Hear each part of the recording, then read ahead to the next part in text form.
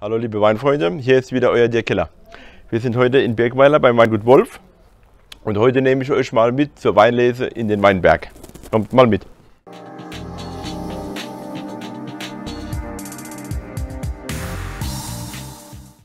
So, wir sind jetzt hier im Weinberg vom äh, Matthias Wolf, vom Weingut Wolf in Birkweiler. Matthias, dafür vielen Dank. Matthias, kannst du uns kurz was zum Weingut und zu dir ähm, erzählen? Gerne, ja. Also erstmal herzlich willkommen. ähm, zum Weingut äh, kann man äh, vielleicht ein paar Sachen erzählen, ein paar Sätze. Es ist so, dass das Weingut 1620 äh, erstmalig in der Dorfchronik von Birkweiler erwähnt wurde. Es war dann der Winzer Hans Wolf. Ähm, wie viele Weinberge der gute Mann hatte, weiß man halt heute nicht mehr so genau. Okay. Kann man nicht mehr so genau nachvollziehen. Es war auf jeden Fall so, dass mein Vater das Weingut dann auch wieder von meinem Opa übernommen hatte. Ähm, der Opa hatte eigentlich nur die Trauben produziert. Äh, diese sind dann an die Genossenschaft verkauft worden. Äh, mein Vater hat dann angefangen mit dem ersten Weinjahrgang, das war dann 1975, mhm. die ersten Trauben dann zu keldern und dann auch quasi als Wein auszubauen und hat dann die Stammkundschaft aufgebaut.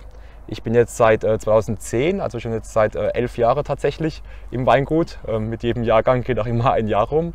ähm, der Einstieg war eigentlich echt äh, ganz erfolgreich. Es gab ja dann 2010 das erste Mal den Weinwettbewerb von den ganzen Jungwinzern der Südpfalz ähm, wurden dann damals auch mit dem ersten Jahrgang, den ich dann als Kellermeister selbst verantwortlich hatte, äh, auch wirklich sehr gut ausgezeichnet, sind dann Dritter geworden von ungefähr 70 Jungwinzern der Südpfalz. Super. Ähm, das darauffolgende Jahr sind wir dann zufälligerweise auch wieder Dritter geworden. Das war eigentlich ein sehr gutes äh, Sprungbrett äh, für den Einstieg ins Weingut. Okay.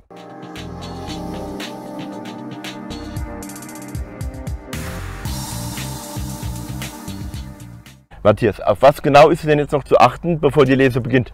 Genau, also wir sind jetzt eigentlich jeden Morgen immer draußen ähm, im Team, gucken uns an, wie die Trauben aussehen, ähm, ob alles äh, gesund ist, ob die Traubenkerne braun sind, können dann mit Hilfe des äh, Refraktometers okay. ein äh, Tröpfchen von der einzelnen Beere auf das äh, Gerät drauf tun.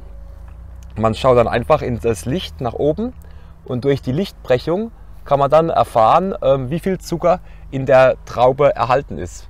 Das heißt, ähm, die hier liegen jetzt ungefähr so bei 95 Öchsler, sind im Prinzip äh, hochreif und werden wahrscheinlich morgen oder übermorgen dann geerntet. Gelesen.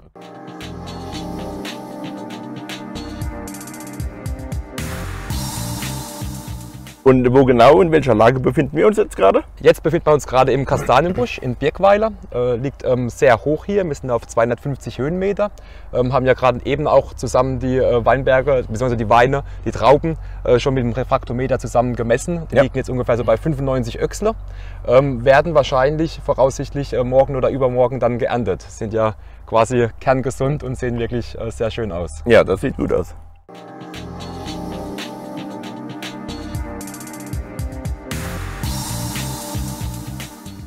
Matthias, vielen Dank für die schönen Eindrücke. Dann bleibt mir nur noch dir einen schönen und super Jahrgang 2020 zu wünschen. Vielen Dank, dass ihr da wart. Ich glaube, die Prognosen sehen ja ganz gut aus für dieses Jahr. Okay, zum Wohl. Zum Wohl.